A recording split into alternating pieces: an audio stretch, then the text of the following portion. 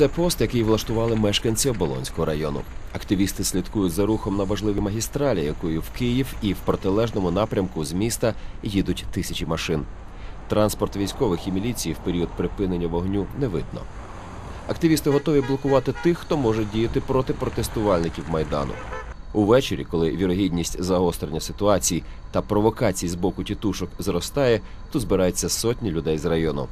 Да, бывают напряженные ситуации. Поступает э, очень много Так, бувають э, напружені заявлений ситуації. о том, що Надходить дуже бомблять багато заяв в про те, що районах бомблять так Києва звані так тітушки. звані тітушки. Ми не допускаємо проникнення, Е, намагаємося ми не допустити проникнення їх в наш район. Проникновення. Захищаємо Так. прилеглі території. Не допустить проникновения их на наш район.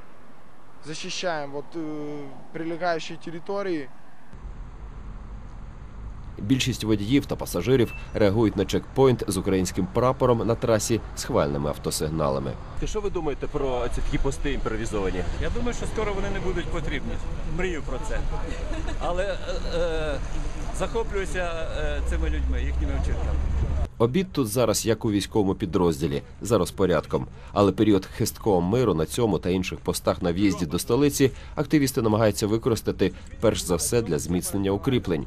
На успіх переговорів опозиції та влади активісти сподіваються, але в те, що президент Янукович виконає свої обіцянки, не вірять. Ні, владі, владі вже віри немає.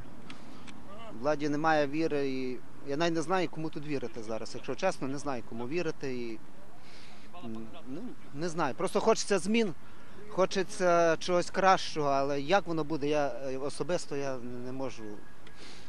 Не можу я сказати і.